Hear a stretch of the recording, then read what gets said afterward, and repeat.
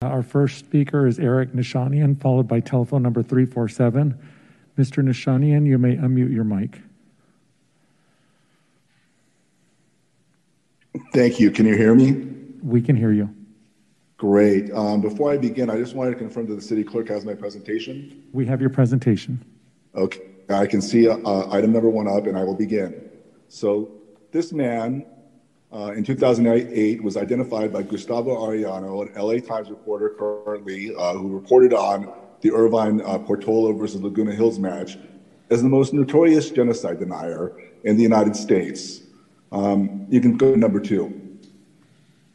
Farah Khan finds that he treats her like family. This is a picture of her with him. Do you see his picture there? Do you see, can you identify him there? You can go to number three.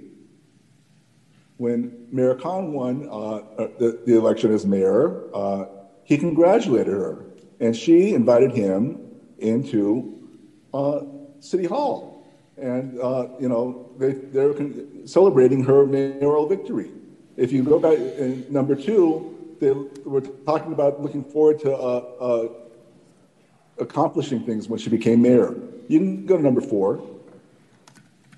If you see, I've circled Mr. Ergun Kirlikovali. This is Farah Khan's uh, uh, Twitter account, and he's part of uh, her advisory board. So Irvine's mayor has a genocide denier, a notorious genocide denier, on her advisory board. He's like a, a, you know an extra uh, council member. You can go to number five. Here is a, a, um, an article or a Twitter where Farah Khan, uh, uh, and, sorry, number five, this is number five, this is actually number six, but in any, in any event, here's uh, uh, the state canceling a summit with Turkey for trade because Mr. Kirlikovali was participating, and they would not uh, uh, go further with genocide deniers in this manner. Can you go to number six? Okay. Here's Mr. Ergun Kirlikovali teaching Turkish American youth about claims of Armenian genocide. There are no claims of Armenian genocide. It's a fact. So he's basically indoctrinating the youth of, uh, in, in California, Turkish youth, about genocide denial. Genocide denial is a hate crime. It certainly is a hate incident. You can go to item number seven. Before the Turkish council left uh, uh, his, his post, he was invited back into City Hall with none other than Mr. Cavalli, a notorious genocide denier.